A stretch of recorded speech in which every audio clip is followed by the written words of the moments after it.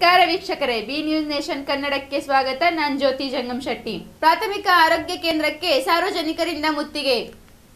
ದೇವರ ಇಪ್ಪರಿಗೆಯ ಆರೋಗ್ಯ ಕೇಂದ್ರದ ಎದುರು ಪ್ರತಿಭಟನೆ ನಡೆಸಿದ ಸಾರ್ವಜನಿಕರು, ಜ್ವರದಿಂದ ಬಳಲುತ್ತಿದ್ದ ಯುವಕ ತುರ್ತು ಚಿಕಿತ್ಸೆ ಸಿಗದೆ ಮೃತಪಟ್ಟಿರುವುದರಿಂದ ಆಕ್ರೋಶಗೊಂಡ ಜನರು.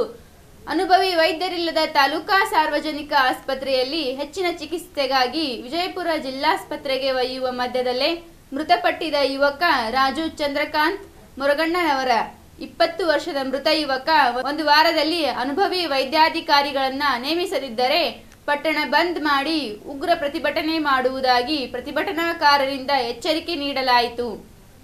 ಪ್ರತಿಭಟನೆ ಬಿಸಿ ಏರುವ ಪರಿಸ್ಥಿತಿ ಅರಿತು ಪೊಲೀಸರು ಸ್ಥಳಕ್ಕೆ ದೌಡಾಯಿಸಿ ಪ್ರತಿಭಟನಾಕಾರರ ಮನವೊಲಿಸಿದರು. ಈ ಘಟನೆ ದೇವರಿಪ್ಪರಿಗೆ ಪಟ್ಟಣದಲ್ಲಿ ನಡೆದಿದೆ.